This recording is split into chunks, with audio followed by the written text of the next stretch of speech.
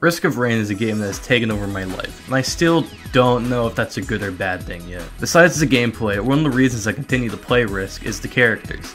There's some real fun ones, like Captain with his shotgun and microbots, Acrid the funky poison lizard, Bandit with his ability to do double damage if he's behind a target.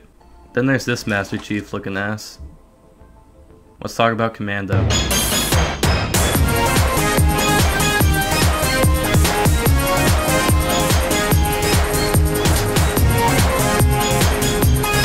Commando is one of the two characters you start out with in Risk, the other being Huntress. With these choices, you know the obvious choice to play, which is Huntress, because they are way more fun to play. But since this is a Commando video, I guess I'll talk about them. Commando is your basic starter character, being a jack of all trades, which pretty much means he is alright in everything stat-wise, which when you're starting out with only 2 survivors and 0 artifacts isn't bad at all.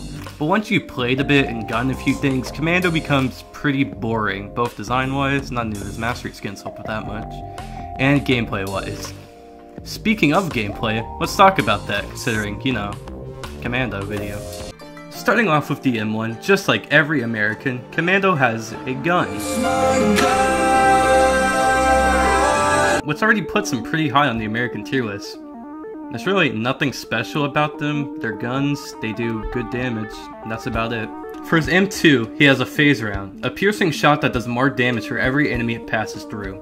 For his starter ability, it's pretty good, but that's not all for M2s. Every character in Risk, except him, has challenges you can do to unlock alternative abilities. As Commando, if you land the final hit on an overloading worm, you unlock the Phase Blast, which fires two short-range shots which do 8 times 200% damage, you can do the math on that one. Despite how annoying this challenge is, the ability is pretty good.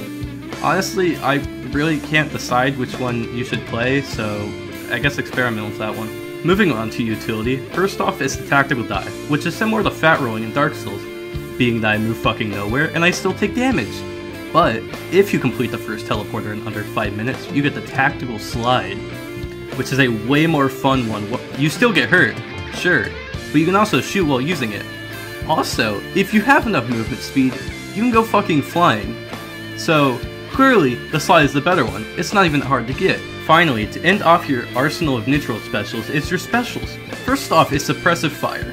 Imagine a taser, but instead of shocking you, I'm just shooting you with a fuck ton of bullets. Second off is the Frag Grenade, which is unlocked by doing 20 levels without picking up any lunar items. By the way, you can still pick up lunar coins, that's not just not actual items. This ability allows you to channel your inner Snake from Smash Bros. and fling grenades at people that do 700% damage, which, on paper, sounds great, but as a pure mug-blooded American, I prefer the Second Amendment. What's next items, bitch? This may sound a bit weird, so sorry in advance, but here's what I think. I think all items work for every survivor in some way, shape, or form. If you're just starting out, you have to play the classic way, which is kill enemies, get money, and open chests to get random items, which is where I think Commando shines. Because he is a jack of all trades, no matter what he gets, it'll benefit him in some way. This isn't true for other characters who have some traits you need to work on, like health or speed. But once you get command, the randomness of items is gone, so commando's jack of all trades really doesn't matter because you can just pick up items. So you might just pick someone else because you can just get items to fix their downsides, which is the main reason I don't play, really play commando, because once you get command, by that point you probably unlocked more survivors, so there's really not a point in playing commando anymore. BC, does this mean you hate commando? Not really. As I said before, I think Commando is a great starting class. With Commando, you get a real basic experience and a good starting point. And of Huntress, we'll talk about next video, you get a different playstyle and it's slightly more of a challenge. Overall, if you want to feel like the average American citizen starting life on a foreign planet called Boston, Massachusetts, Commando is definitely a good starting choice, even if, just like your firstborn child, you never look at them again once you get 5 schnickels. Thanks for watching, see ya.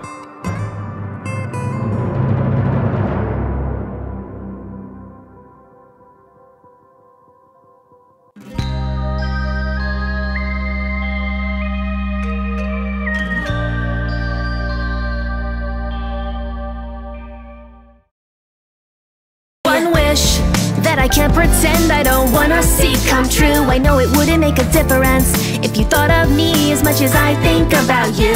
But maybe it's deliverance From the pain I know is coming on When my old soul's finally gone. It's not wrong to think about it But I'll stop for tonight Cause we're immortalized forever In the songs that we write, you know